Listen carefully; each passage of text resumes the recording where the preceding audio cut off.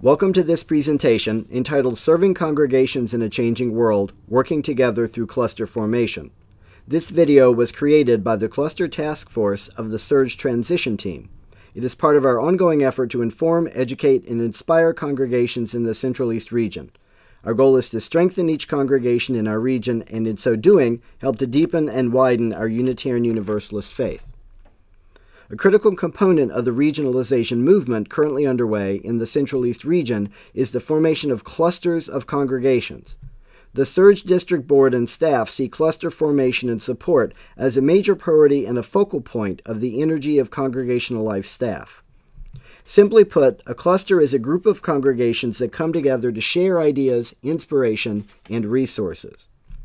There are already several cluster groups meeting in our region, and other congregations that have begun various kinds of collaborations. Our goal is to involve every congregation in the Central East region in some type of collaborative group, being interconnected all across the region from eastern Ohio to the tip of Long Island, from the St. Lawrence Seaway to northern Virginia, so that eventually all congregations will be connected in a web of support and shared resources where everyone wins. Clusters are a flexible and responsive way to build relationships, pool knowledge and resources, and support one another as we work together to change the world and build the beloved community. Whether congregations are grouped geographically or come together around a particular affinity, the benefits are many. The ability to bring together the collective wisdom of multiple congregations so that individual leaders no longer need to work alone, but can work with others who share similar responsibilities in other congregations. The experienced can guide the newcomers. Those with special knowledge can teach those who don't yet know. The initiated can offer fresh perspective, energy, and ideas to those who are new to the process or still learning. Showing unity at important social and economic justice events and venues, increasing the public presence of Unitarian Universalism as a liberal religious voice in their communities and states. Congregations will benefit by enriching each other's programs and organizations and blending common activities and training opportunities through shared worship, shared curriculum, and shared resources. Siddhartha, the founder of Buddhism, wrote, Thousands of candles can be lit from a single candle, and the life of the candle will not be shortened. Happiness never decreases by being shared. Another benefit is the collaboration on marketing and outreach strategies will bring more visitors to our doors and enhance the visibility of the congregations in the local community. Examples include joint advertising in targeted media and markets and creation of cluster websites.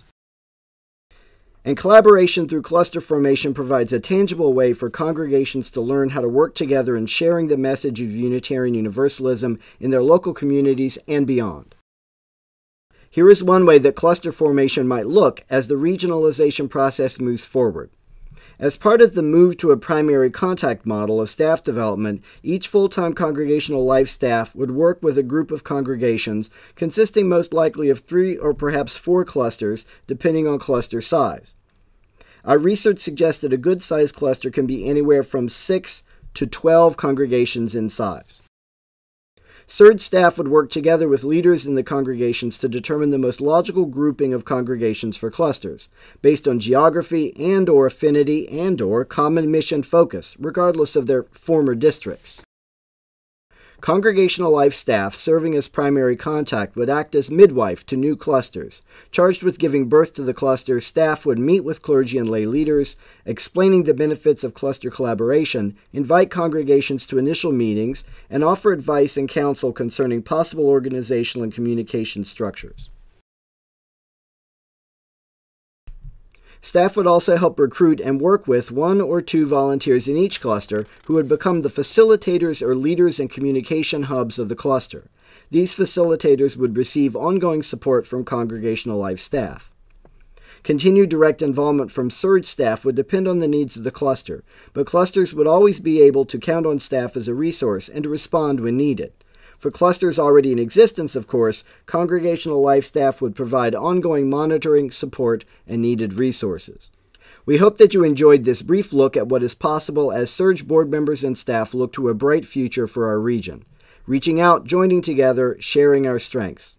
Cluster formation is just one exciting way in which CERG is finding new ways to serve congregations in a changing world. For more information, contact us at www.cerguua.org www.hdp.org.